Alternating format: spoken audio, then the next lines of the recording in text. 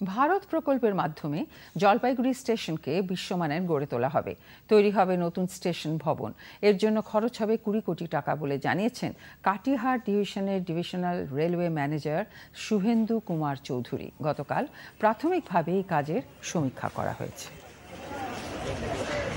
Jalpaiguri station Amrit Bharat में इसको हम लोग डेवलप करेंगे वर्ल्ड क्लास स्टैंडर्ड का इसलिए हम लोग आज सर्वे किया है यहाँ पे